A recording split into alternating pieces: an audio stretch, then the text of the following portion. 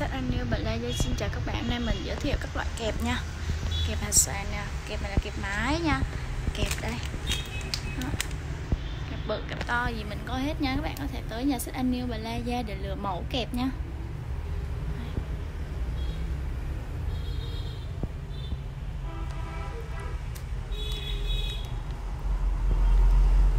Cái này là kẹp bún nha các bạn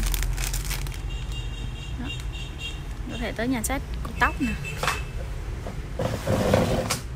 Tóc hình hình thú, hình đồ gì đó. Kèm này cũng rất là đẹp nè các bạn. Đây là một bộ nó luôn. Mình về mẫu rất là đẹp nè. Mình có thể tới nhà sách anh yêu bà la để lựa mẫu nha. Đây, bộ tóc đây.